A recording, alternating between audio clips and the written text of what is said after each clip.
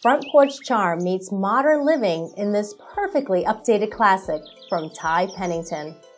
Parkside offers the look of natural wicker in an all-weather resin that can be enjoyed indoors or out. With steel reinforced frames for added strength and durability, thoughtful design features include stylish roll arms, deep seating, and generously sized olefin cushions for long-lasting comfort. Plus, colorful accent pillows to help create a pop of bright style. To create a complete outdoor look, start with a four-piece deep seating set. Add a three-seat sofa, a three-piece tall bistro set, swivel glider, side table, and ottoman.